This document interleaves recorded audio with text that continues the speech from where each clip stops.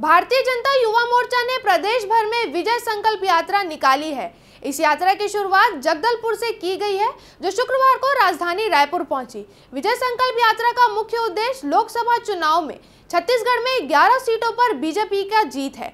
गौरतलब है कि विधानसभा चुनाव में मिली करारी हार के बाद बीजेपी अब लोकसभा चुनाव में 11 सीटों पर अपना परचम लहराने की तैयारी में ज़ोर शोर से जुटा हुआ है। खरसिया नगर पालिका के अध्यक्ष कमल गर्ग ने यात्रा और युवा मोर्चा के बारे में कहा कि भारतीय जनता युवा मोर्चा का मुख्य उद्देश्य प्रदेश के युवाओं की प्रतिभाओं को सही दिशा में जाने का है। भारतीय जनता युवा मोर्चा, छत्तीसगढ़ प्रदेश, छत्तीसगढ़ के 11 लोकसभा स्त्री बैठक,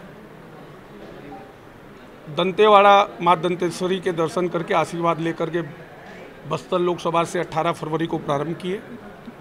कांकेर, राजनांदगांव दुर्ग लोकसभा की बैठक करते हुए आज रायपुर लोकसभा क्षेत्र की बैठक है और 28 फरवरी को पूरी 11 लोकसभा की बैठक करते हुए बिलासपुर में इन बैठकों का हम समापन करेंगे।